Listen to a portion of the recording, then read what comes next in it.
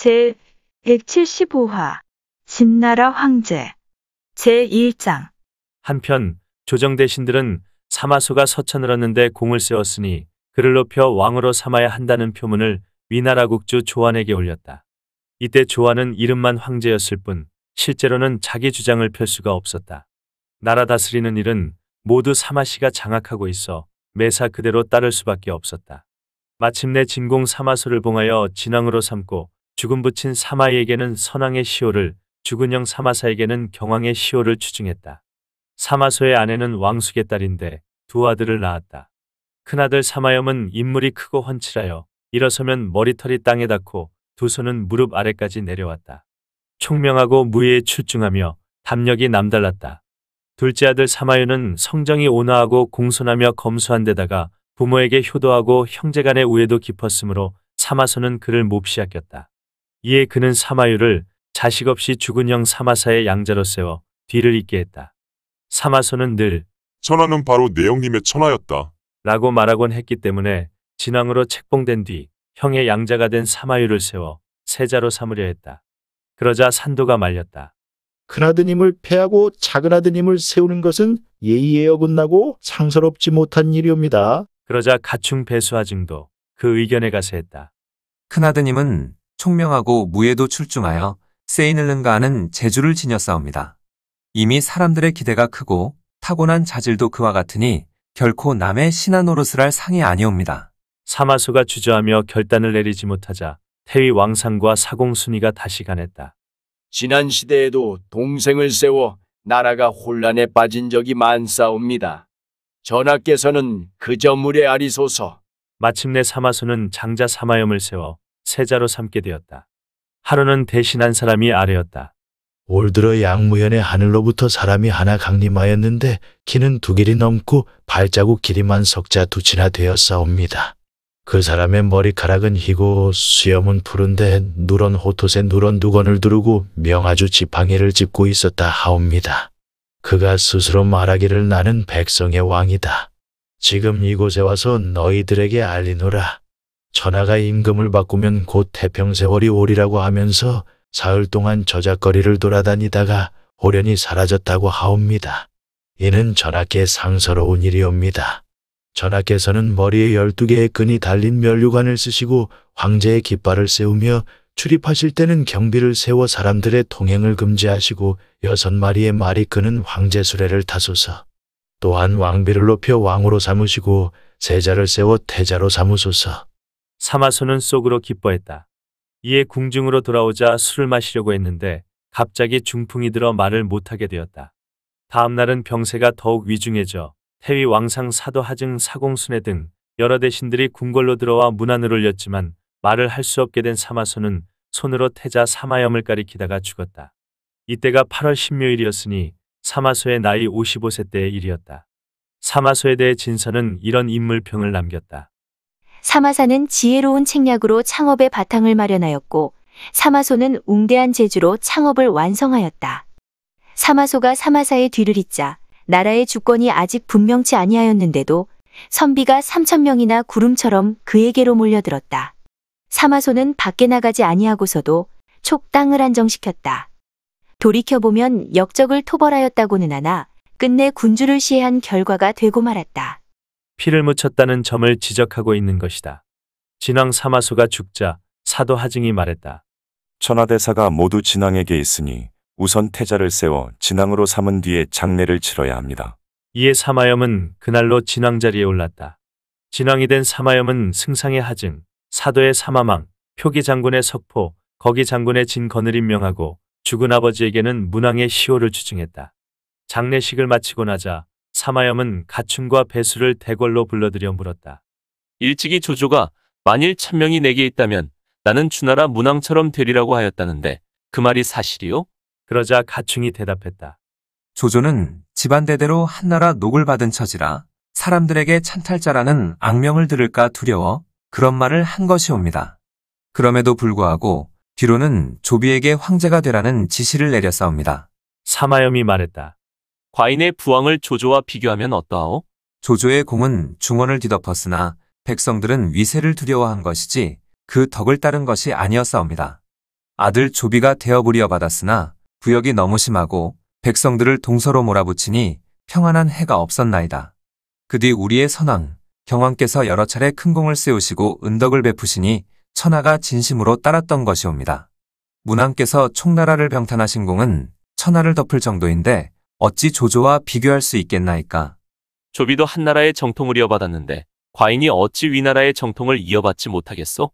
이에 가춘과 배수는 거듭 절을 올리며 아뢰었다.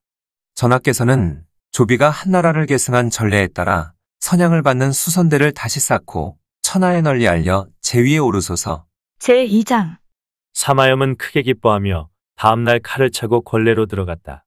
이때 위나라 황제 조아는 며칠째 조회를 열지 못할 정도로 정신이 어지러워 몸을 제대로 가누지 못하고 있었다. 사마염이 곧장 후궁으로 들어가니 조안이 어저에서 황망이 내려오며 그를 맞았다. 사마염은 자리를 잡고 앉은 뒤에 물었다. 위나라 천하는 누구의 힘으로 만들어진 것이옵니까? 그야 모두 진왕의 아버지와 할아버지 은덕이요. 조안의 대답에 사마염은 웃었다. 하하하.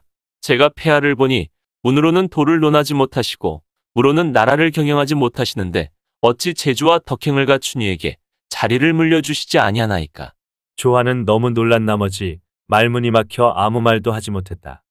그러자 곁에 있던 황문씨랑 장절이 큰 소리로 꾸짖었다. 진왕의 말씀은 틀렸소이다. 지난날 위나라 무제께서는 동쪽을 소탕하고 서쪽을 평정하며 남쪽을 정벌하고 북쪽을 토벌하시면서 이 천하를 결코 쉽게 얻으신 것이 아니요. 지금 황제께서는 덕은 있어도 허물이 없으신데 어찌 남에게 자리를 내주어야 한단 말이요. 이 말을 들은 사마염은 크게 노했다. 이 사직은 본래 한나라 사직이었다. 조조가 황제를 끼고 제후들을 호령하며 스스로 위왕이 되어 한나라 왕실을 찬탈한 게 아니냐. 나와 아버지와 할아버지 3대에 걸쳐 위나라를 도왔으니 천하를 얻은 것은 조씨의 능력이 아니라 실은 사마씨의 힘이었느니라. 이를 온 세상이 다 알고 있는데 내 어찌 위나라의 천하를 이어받지 못한단 말이냐? 그러자 장절이 다시 꾸짖었다. 그런 일을 하려 들다니 그건 나라를 빼앗는 역적질이 아니냐? 사마염은 크게 노했다. 내가 한나라 왕실의 원수를 갚아주는 일인데 어찌 아니 된다고 하느냐? 그리고는 무사들에게 소리쳤다. 이놈을 당장 끌어내 요절을 내거라. 이에 무사들이 달려들어 장절을 전각 밑으로 끌고 가 몽둥이로 때려 죽였다. 이를 본 조안이 눈물을 흘리며 무릎을 꿇고 빌었다. 사마염이 몸을 일으켜 전각을 나가버리자 조안은 가춘과 배수를 불러 물었다. 일이 급하게 되었으니 어찌하면 좋겠소? 그러자 가충이 대답했다. 천수가 다하였사옵니다. 하온이 폐하께서는 하늘을 거스르지 마시고 마땅히 한나라 헌재의 고사를 살펴 수선대를 다시 수리한 뒤 대례를 갖추어 진왕에게 황제 자리를 넘겨주소서. 그것이 위로는 하늘의 뜻에 부합하고 아래로는 백성들의 마음에 순응하는 길이옵니다. 그리하시면 폐하께서는 옥체를 보존하시고 아무 걱정이 없을 것이옵니다. 그 말에 따라 조안은 가충을 시켜 수선대를 찍게 했다. 12월 갑자일에 조안은 문무백관을 소집한 뒤 진시황 때부터 전해지는 전국세를 몸소 받들고 수선대 위에 섰다. 이 모습을 두고 후세 사람은 다음과 같이 시로 읊었다. 위나라 한 삼키고 진나라 조 삼키니 돌고 도는 천호는 피할 길이 없구나. 장절은 나라 위에 충의로 죽었지만 한 손으로 태산을 어찌 가로막으랴. 조안은 진왕 사마염에게 수선대 위로 올라오게 한 다음 대례를 베풀었다. 그리고 자신은 수선대를 내려가 관복을 갖추어 입은 뒤 문무양 쪽으로 나뉜 관리들의 행렬 맨 앞에 섰다. 사마염이 수선대 위에 단정히 앉자 가춘과 배수가 좌우에 서서 칼을 들고 조안에게 두 번 절하라는 명을 내리니 조안은 바닥에 엎드려 두 번 절을 올렸다. 그러자 가충이 말했다. 한나라 건한 25년 위나라가 한나라의 뒤를 이은 이래 이미 45년이 흘렀도다. 이제 위나라의 복록이 끝나고 하늘의 뜻은 진나라에 있느니라. 사마씨의 공덕이 쌓여 하늘에 닿고 땅에 가득한 즉 황제의 자리를 바르게 하여 위나라의 정통을 이어가야 하는 즉 그대를 공의 진류왕으로 삼으니 금용성에 나가 살라. 지금 당장 길을 떠나고 황제의 조서가 없이는 도성에 들어오는 것을 불허하노라. 조안은 눈물을 흘리며 작별한 뒤 떠났다. 태부 사마부가 조안 앞에서 통곡하며 말했다. 위나라의 신하된 몸으로서 신은 끝까지 위나라를 배신하지 아니하겠나이다. 사마염은 사마부의 이런 모습을 보고 그를 봉해 안평왕으로 삼았지만 사마부가 받지 않고 물러났다. 이날 문무백관은 수선대 밑에서 두 번 절하고 만세 삼창을 하였다. 사마염은 위나라의 정통을 이어받아 국호를 큰 진나라 곧 대진이라 하고 연호를 태시 원년으로 바꾼 뒤 천하의 대사멸령을 내리니 이로써 위나라는 마침내 역사 속으로 사라져버린 셈이었다. 후세 사람은 이 일을 두고 다음과 같이 시로 읊었다. 진나라의 사례는 위임금과 같으니 진료왕의 종적도 한 헌재 닮았구나. 수선대서 앞일이 또다시 반복되니 당시를 돌아보면 애달플 뿐이로다. 진나라 황제 사마염은 시호를 추증하여 사마이를 선제로 삼고 백부 사마사를 경제로 삼으며 부친 사마소를 문제로 삼았다. 그리고 일곱 사당을 세 워조상 대대로의 위덕을 빛냈다. 어찌 일곱 사당인가? 그것은 한나라 정서장군 사마균이 예장태수 사마량을 낳고 사마량이 경조윤 사마방을 낳고 사마방이 선제 사마이를 낳고 사마이가 경제 사마사와 문제 사마소를 낳았기 때문이다. 이렇게 대사를 마무리 짓고 나서 사마염은 날마다 조회를 열어 오나라를 정벌할 개책을이 논하기 시작했다. 제3장 오나라 국주 소유는 사마염이 위나라를 찬탈한 것을 듣고 곧 오나라를 정벌할 것이라 생각했다. 이에 걱정하다가 병이 나서 침상에 눕더니 일어나지를 못했다. 마침내 소유는 승상 복양응을 궁중으로 불러들이고 태자 손안으로 하여금 나와서 절을 하도록 명했다. 오나라 국주는 복양응의 팔을 잡고 손으로 손안을 가리키더니 숨을 거두었다. 오나라 영한 7년의 일이었다. 복양응이 나가서 태자 손안을 임금으로 세우기 위해 신하들과의 논란이 좌전군 만욱이 말렸다. 손아는 너무 어려서 정사를 맡을 수 없으니 오정우 선호를 데려다 옹립하는 이만 못하오. 그러자 좌장군 장포도 거들었다. 그렇소. 손호는 재주와 식견이 있고 분명한 판단력을 갖추었으니 제왕이 될 만합니다. 이에 승상 복양응이 결단을 내리지 못하고 들어가서 주태후에게 아뢰니 주태후가 말했다. 나는 과부된 사람일 뿐인데 어찌 종묘사직의 일을 알겠습니까? 경들이 앞뒤를 잘 살펴 옹립하는 게 좋겠어. 이에 복양응 등은 손호를 맞아 임금으로 삼았다. 자가 원종인 손호는 손권의 손자여 태자였던 손화의 아들이었다. 그해 7월 황제에 즉위하여 연호를 원흥 원년으로 고쳤다. 태자였던 손안을 봉해 예장왕으로 삼고 아버지 손화에게는 문왕제의 시호를 주증하고 어머니 하시는 위를 높여 태우로 삼았다. 그리고 노장 정봉에게는 좌우대 사마의 벼슬을 더했다. 손호는 다음 해에 연호를 다시 감로 원년으로 고쳤다. 그런데 날이 지나면서 손호의 흉포함이 점점 심해지고 주색에 빠지더니 환관인 중상시 잠원을 총애하기 시작했다. 그를 옹립한 복양응과 장포가 가난하자 손호는 오히려 화를 내며 두 사람의 목을 베고 삼족을 멸하고 말았다. 이로부터 조정신하들은 입을 다물고 다시는 가난하려 들지 않았다. 다음에 손호는 연호를 보정 원년으로 다시 바꾸고 육계와 만욱을 좌우승상으로 삼았다. 이때 손호는 무창에 머물고 있었는데 양주 백성들은 강물을 거슬러 각종 물품을 손호에게 대느라 고생이 극심하였다. 또한 사치가 끝이 없어 조정과 백성 모두 궁핍해졌다. 이에 육계가 상소문을 올려 간언했는데 그 내용은 다음과 같았다. 지금 아무 재앙도 없는데 백성들은 죽어가고 아무 하는 일도 없건만 나라 재정이 텅 비어가니 쉬는 마음으로 이를 통탄하고 있나이다. 지난날 한나라 왕실이 쇠퇴하여 새 나라가 솥발처럼 정립하다가 이제 조씨와 유씨가 도를 잃어 모두 진나라의 차지가 되었사오니 이것이 눈앞에 드러난 명백한 증자이옵니다. 어리석은 신은 다만 폐하를 위하여 나라를 안타까워할 따름이옵니다. 무창의 토성은 험하고 메말라 제왕이 도성으로 삼을 만한 곳이 아니옵니다. 게다가 한간에는 차라리 건업에 물을 마시지. 무창의 물고기는 못 먹겠네. 건업으로 돌아가 죽을지언정 무창에 머물지는 못하겠네. 라는 동요가 떠돌고 있사옵니다. 이 노래에도 백성의 마음과 하늘의 뜻이 명백히 드러나 있나이다. 지금 나라엔 한 해를 버틸 비축량도 없어 점차 그 바닥이 드러나고 있나이다. 관리들은 백성을 수탈할 뿐 아무도 백성을 가엽게 여기지 아니하옵니다. 대제 때에는 궁녀가 100명도 아니 되었사오나 경제 이후 1천명이 넘었사오니 이것이 바로 재물을 축내는 바탕이 되었나이다. 또한 폐하의 좌우 측근이 모두 그런 것은 아니오나 패거리를 만들어 서로를 감싸주고 충신을 해치며 어진이를 몰아내니 이는 모두 정사를 좀 먹고 백성을 병들게 하는 일이옵니다.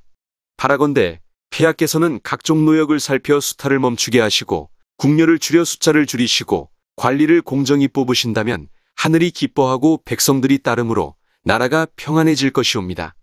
이런 상소를 올렸지만 손호는 오히려 불쾌하게 여겼다. 그는 다시 토목공사를 크게 일으켜 소명궁을 짓는데 문무관리들에게 나무를 해오라는 영까지 내렸다.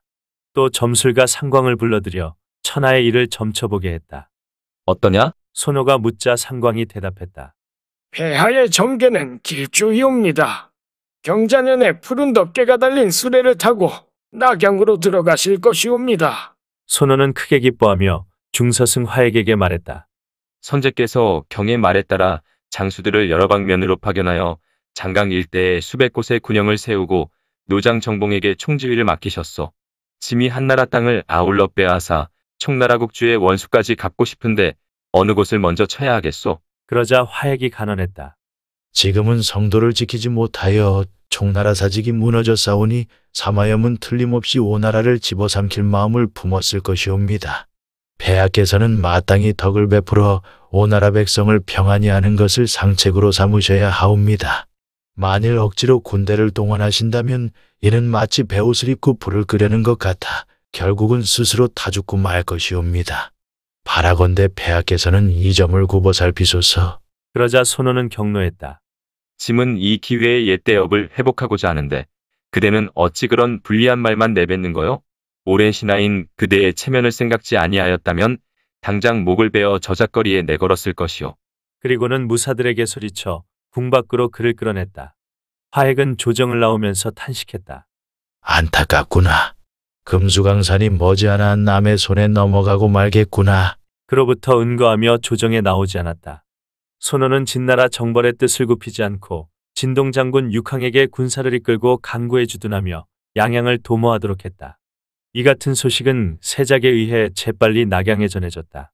제4장 세작의 보고를 받은 측근 신하는 육항이 양양을 침범할 것이라는 소식을 진나라 국주 사마염에게 아뢰었다. 그러자 사마염은 문무백관들을 불러 모아 대책을 물었다. 그러자 가충이 반열에서 빠져나와 대청 한가운데 서서 아뢰었다. 신이 듣건대 오나라의 손호는 어질고 바른 정치를 베풀지 아니하고 결행하여 도리를 벗어났다고 하옵니다. 폐하께서 도독 양호에게 조서를 내려 군사를 이끌고 맞서게 하시고 오나라의 병고가 생기기를 기다렸다가 그 틈에 공격을 하게 하신다면 오나라를 손바닥 뒤집듯 쉬어드실 수 있을 것이옵니다. 사마염이 크게 기뻐하며 즉시 조서를 내려 사자를 양양의 양호에게 보냈다. 조서를 받은 양호는 군마를 점검하여 적군을 맞을 준비를 마쳤다. 이로부터 양호는 양양을 지키면서 군사와 백성의 마음을 크게 얻었다. 항복한 오나라 사람들 가운데 고향으로 돌아가려는 이들이 있으면 그들의 청을 모두 들어주었다. 그는 수비병과 순찰병을 줄여 그들을 800경이 넘는 밭을 개간하는 데 투입했다. 이렇게 하니 처음 왔을 때는 101분의 군량도 없었으나 다음해에는 10년분의 군량이 쌓였다. 양호는 군중에 있을 때는 가벼운 가죽옷에 느슨한 허리띠를 메고 갑옷을 걸치지 않았다. 그의 군막을 호위하는 병사도 불과 10여 명밖에 되지 않았다. 하루는 부장이 군막 안으로 들어와 양호에게 아뢰었다. 적후병이 와서 보고하기를 오군이 모두 해이해졌다고 합니다. 이 틈을 타 습격하면 틀림없이 대승을 거둘 것입니다. 그러자 양호가 웃으며 말했다. 하하, 그대들은 육항을 너무 얕잡아 보는군. 하지만 그는 명장 육손이 아들로 지혜가 많고 계략이 뛰어난 자다. 일전에 오나라 국주가 그에게 서릉을 공격하게 하였을 때 그는 보천과 그의 부하장사 수십 명을 목베었지만 나는 그들을 구하지 못하였다. 그가 그쪽 장수로 있는 한 우리는 그저 지키고 있는 게 상책이다. 그러다가 내부에 변고가 생기면 비로소 도모하여 취할 수 있느니라. 정세를 잘 살피지 아니하고 함부로 진격하면 그것이 곧 패하는 길이다. 장수들은 그 말에 승복하고 오직 경계만을 굳게 지킬 따름이었다. 어느 날 양호는 장수들을 이끌고 사냥을 나갔다가 역시 사냥을 나온 육항과 마주치게 되었다. 양호가 영을 내렸다. 아군은 경계를 넘지 말라. 장수들은 그 명을 받들어 진나라 땅에서만 사냥할 뿐 오나라 경계는 일체 범하지 않았다. 이를 보고 육항은 감탄했다. 양호의 군사가 저처럼 기울이 서 있으니 섣불리 덤벼서는 아니 되겠구나. 해가 저물자 양군은 각자 물러났다. 군중으로 돌아온 양호는 그날 잡은 사냥감들을 살펴보더니 오나라 사람이 먼저 쏴 부상을 입힌 날짐승이나 길짐승은 모두 오군으로 돌려보냈다. 오군 병사들이 기뻐하며 이를 알리자 육항은 심부름원 사람을 불러 물었다. 너희 대장은 술을 마실 줄 모르느냐? 모르시다니요? 좋은 술이 생기면 반드시 마시십니다. 육항이 웃으며 말했다. 그래. 내게 말술이 있는데 담근 지 오래된 것이다. 이제 내게 줄 터이니 가져가서 양도독에게 바치거라. 이 술은 내가 직접 담가 마시는 것인데 특별히 한 잔 바쳐 어제 사냥해서 고마웠던 마음을 표하고 싶구나. 심부름원 사람이 응낙하고 술을 가지고 떠나자 좌우 사람들이 육항에게 물었다. 장군께서 술을 내주신 것은 무슨 뜻인지요? 그가 먼저 덕을 베풀었으니 어찌 보답하지 않을 수 있겠는가. 그 말에 모두들 그저 놀랄 뿐이었다. 한편 심부름 왔던 사람은 양호에게 돌아가 육항이 묻던 질문과 술을 들고 오게 된 과정을 자세히 보고했다. 그러자 양호가 웃으며 말했다. 허허, 그 또한 내가 술 마시는 줄 알고 있더란 말이냐? 그리고는 수랑아리를 열게 하여 마시려 했다. 그러자 부장 진원이 말렸다. 그 술에 속임수가 있을까 두려우니 도덕께서는 나중에 천천히 마시는 게 좋겠습니다. 양호가 다시 껄껄 웃었다. 하하, 육항은 결코 남에게 독을 쓸 사람이 아니니 의심할 필요 없다.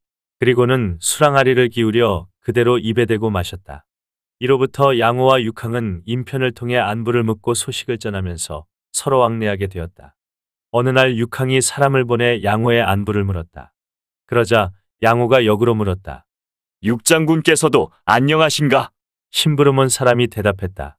우리 대장께서는 며칠째 병석에 누워 출입을 못하고 계십니다. 그러자 숙자 양호가 말했다. 장군의 병은 나와 같은 병일 것이다. 내 이미 지어놓은 약이 있으니 이걸 가져다가 드시게 하라. 심부름 온 사람이 약재를 갖고 육항에게 돌아오니 무장수가 말렸다. 양호는 우리의 적이니 결코 좋은 약이 아닐 것입니다. 육항이 말했다. 어찌 양숙자가 남을 독살하겠느냐? 그대들은 의심하지 말라. 그리고는 약을 먹었다. 다음날 병이 깨끗이 나아 장수들이 축하의 말을 던지자 육항이 말했다. 상대가 덕으로 대하는데 내가 폭력으로 대한다면 상대는 싸우지 아니하고도 나를 굴복시키는 것이다. 지금은 마땅히 각자의 경계를 지켜야지 작은 이익을 구하면 아니 될 것이다. 장수들이 모두 금명을 받들었다. 적이면서도 정치적 입장과 관계없이 서로 상대방의 인격을 인정하며 사귀던 두 사람의 교제를 세상에서는 양육지교라 일컬었다. 그러던 어느 날 오나라 국주에 사자가 도착했다는 전갈이 들어왔다. 이에 육항이 맞아들여 물으니 사자가 말했다. 폐하께서는 장군께 속히 진격하여 진나라 사람이 먼저 침입하지 못하게 하라는 칙명을 내리셨습니다. 육항이 말했다. 그대는 먼저 돌아가시오. 내 뒤이어 폐하께 상소문을 올리겠소이다. 사자가 작별 인사를 하고 떠나자 육항은 상소문을 써서 건업에 보냈다. 측근 신하가 바치니 손호가 그 상소문을 읽어보았다. 상소문에는 아직 진나라를 정벌할 시기가 아님을 설명하고 우선 오나라 국주는 덕을 베풀고 형벌을 신중히 처리하여 나라 안을 안정시키는 데 전념해야지 함부로 싸움을 걸어 군사를 욕보여서는 안 된다는 내용이 적혀 있었다. 다 읽고 난 손호는 경로했다. 짐이 듣건데 육항이 변경해서 적과 내통한다더니 그게 사실이었구나. 그리고는 사자를 보내 병권을 빼앗고 벼슬을 사마로 강등시켰다. 그리고 좌장군 손기로 하여금 그 군사를 대신 통솔하도록 했다. 신하들은 아무도 이 같은 조치를 말리지 못했다. 오나라 국주 손호는 연호를 건영 원년으로 바꾸었다가 다시 봉황 원년으로 바꾸었다. 그렇게 멋대로 행하니 변경을 지키는 군사들 가운데 그를 한탄하고 원망하지 않는 이가 없었다. 손호의 무도함을 보고 승상 만욱, 장군 유평, 대산옥 누현 세 사람이 바른 말로 애써 간언하다가 모두 죽임을 당하고 말았다. 전후 10여 년 사이에 손호가 죽인 충신만 40명이 넘었다. 폭군의 전형이었다. 그는 자기가 출입할 때는 늘 철갑기마병 5만을 거느리고 다녔다. 신하들은 공포에 질려 감히 어쩌지를 못했다. 읽어주는 고품격 삼국지는 다음 화도 계속됩니다. 이번 이야기를 재미있게 읽으셨다면 좋아요와 구독을 눌러주세요. 그리고 작품을 해설하는 프롤로그도 꼭 읽어주세요.